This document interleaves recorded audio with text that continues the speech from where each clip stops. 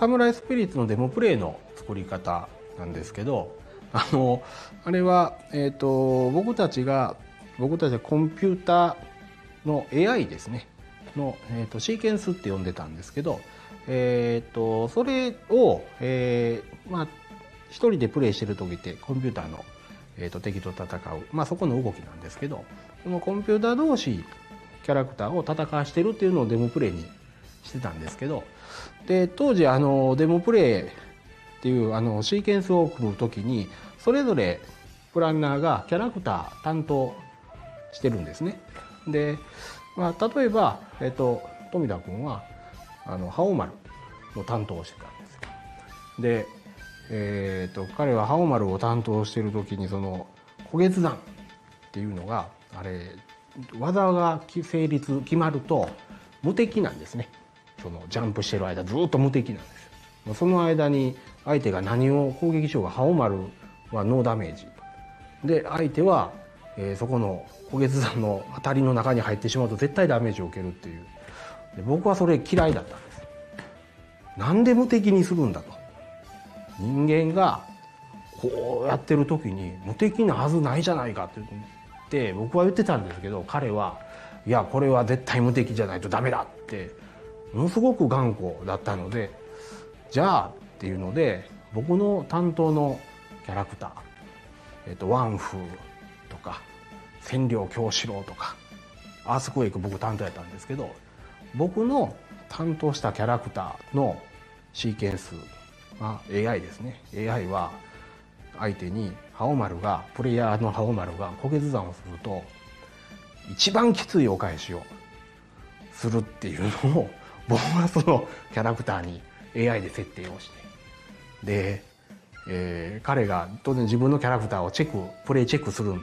ですけどこのコンピューター戦でチェックをしてる時に自分のハオマルで焦げずさんを出すと僕の作ったキャラクターはもう焦げ山をするとガードまずガードします。で焦げ山が飛び上がって落ちてくるのをずっと待って着地した時の隙に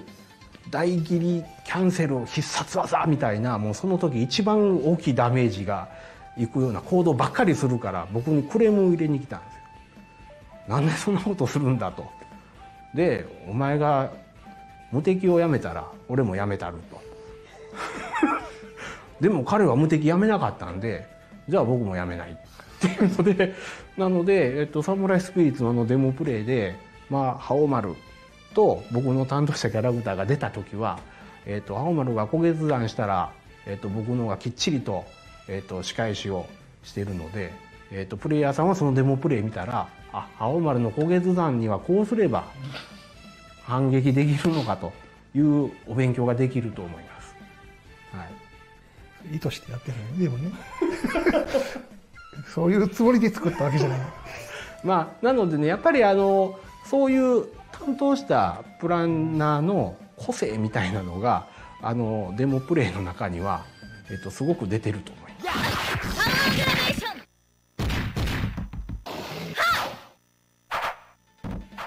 えっとね当時はそのまああの容量がやっぱり少なかったのでそのデモプレイ用に、えっと、何かを専用で作るっていうことはやっぱりできなかったんですですね。ということは、まあ、やっぱりゲームの中にあるものを使ってそのデモプレイを作らないとダメ。で、えーと、そこでやっぱり活用できるのがその AI のキャラクターっていうのはもうそのままもう容量としては入っているものなのでじゃあその AI を使ってその AI のキャラクターの動きを見てプレイヤーが面白く、えー、面白いと感じてもらえるっていう。でそのためにやっぱり AI が面白くないと,、えーと、ダメなので単に強すぎてもダメですし、えー、弱すぎても面白くないですしだからサムライスピリッツのキャラクターの,、えーと、そのシーケンスっていう動きのパターンの中には、えーと、例えば前に、えー、5歩動く。で5歩動いた後に3歩下がるみたいな、えー、と特に攻撃に何が関係あるんですかっていうのも関係ないんですけどもこのキャラクターはこういう動き例えばしゃがんで立ってしゃがんで立ってっていうのを繰り返すっていうようなこのキャラクターはこういう動きをする、えー、と個性を持たせようっていうのをそれぞれのキャラクターにそれぞれの担当が考えて、えー、と動きをつけてたのでだから他のいわゆるあの戦うためだけの AI っていうよりは、えー、とちょっと人間臭い動きというか、えー、と感情を表すような、えー、仕組みっていうのを入れてそのユーザーが見た時に少しでも魅力的に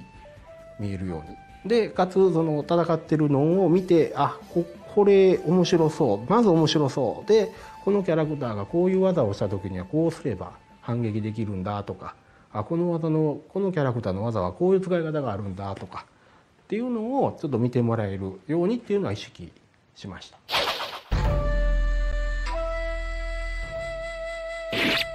開発中の、まあ、サムライスピリッツを開発をしている中で面白かったことっていうとまあ面白かった当時は面白かったかと言われると、えっと、面白くなかったかもしれないんですけど今だとまあちょっと思い出しても面白かったかなと思うようなのは、えっと、例えばやっぱりゲーム開発って締め切りが近づくとみんなもうすごく夜遅くまで仕事、えー、としなければならなかったり、えー、時にはもうやっぱり帰れない、えー、もう徹夜で仕事してみたいなこともあるんですけどであのとあるあのプログラマーのメインのプログラマーの人がもう疲れた帰りたい。でもバグたくさんまだ残っていて締め切りももうすぐだから、えーと、あなた帰らずにちゃんとバグを直してくれ。で、えーと、当時僕がちょっとディレクションをしてたんですけどでももうそのプログラマーの人はもう帰るもう嫌だ帰るいやダメだ帰ったらダメだって言ってたんですけど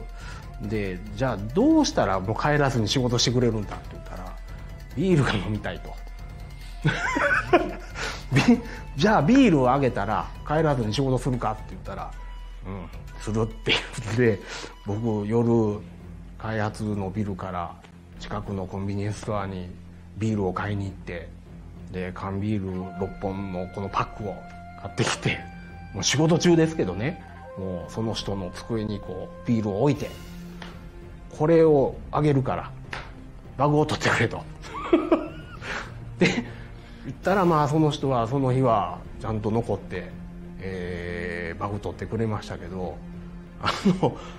変にそれが癖になったらダメだと毎日ビール飲みたい言われても困るので えっともう次帰りたいみたいなのがあった時はもうビールじゃなくてえっともっと違うもう酔っ払って仕事やっぱりでできないのも困るんでででも毎回毎回じゃあ僕が自分のポケットマネーからその人になんでおやつだのビールだの買わなきゃダメなんだってってもうその人とは真面目にちょっと話をしてえっと今仕事としてあなたは残ってやらないとダメなんだみたいなのをコンコンと説明してその時はしんどかったですけど今だとちょっと自分でもまあああいい思い出かなと思いますね。はい。岡田さん。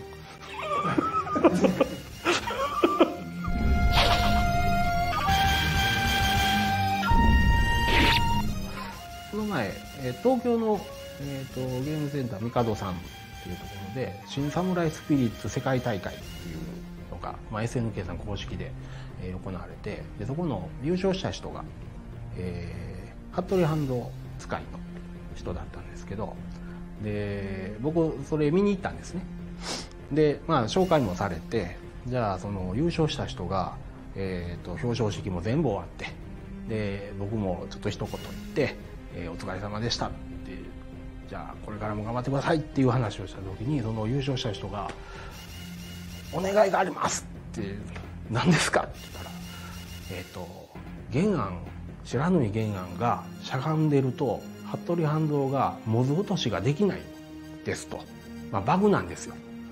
でバグのままもう製品になっちゃってるんですけどでなぜそのバグが起きてるかも分かってるんですけどでできないんですとで300万円までなら出しますからバグを直してくださいって お願いをされて。で SNK の人に言っておきますって。で、えーと、今こうやって SNK の人にお伝えしました。あの世界チャンプが300万円までならお金を出すのでそのバグ直してくださいということです。よろしくお願いします。どうぞ。言いにくなるわそれ。いやでもあのそうですね。えっ、とちょっと全然話が変わるんで開発ゲームの中とも全然関係ないんですけどでもまああの開発の中でえっ、とキャラを作ってたりとかしてでえっ、とその中であのデザイナーの 方がいたんですけど、まあ、女性の方。でその方と、えっと、僕の方えっとまあ、社内の方で結婚させていただいたんですけどその時にすごくあの足立さんに報告した時に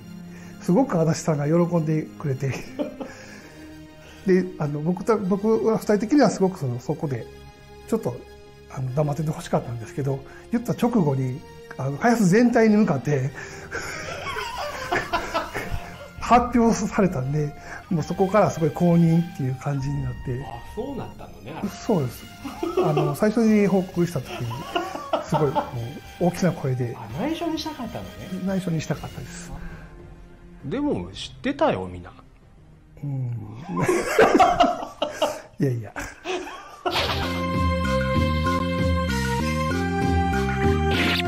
えっ、と僕が「サムライスピリッツで」まあ、一番好きなキャラクターははいまあ、自分がデザイナーと一緒に作ったっていうのもあるんですけど木場上源十郎ですね、えーと、なので、あのー、彼に対しては技も自分のその空手の技をさせたりとかっていうぐらいすごく感情移入してまして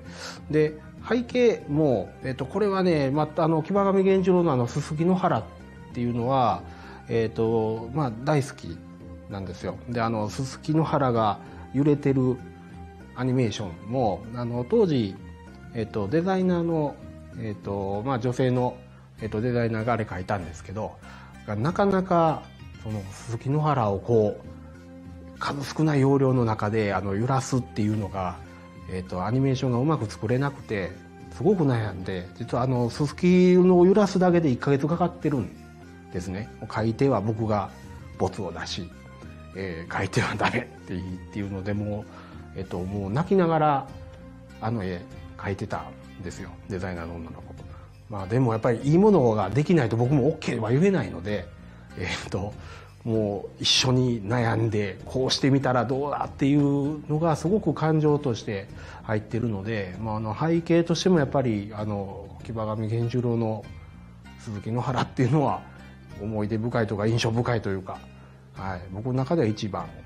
えーと、僕の好きなキャラは、えっと、ハオマンです。やっぱりあの一番最初に設定したっていうのもあるしやっぱりあの大喜利の一撃必殺感とかあのこだわって、えー、無敵技を入れた小決断とかっていうのがすごく好きだったのででステージに関してもと覇王丸のステージです。で覇王丸のステージも、えーとこれもちょっと余談になるんですけどあのあそこの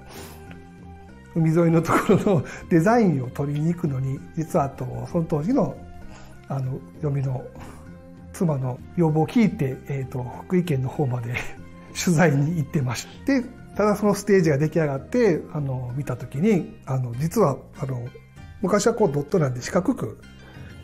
こんで作ってあるんですよ。で実はですね真ん中のちょっと右側のところにこうナビしぶきが上がるんですけどそこちょっとへこんでるんですよね。でそこだけどうしてもねアクションができないんですよ。こうザバーってザバーって動かないドットなんででそこを指摘するとまあ今もすごく怒られます。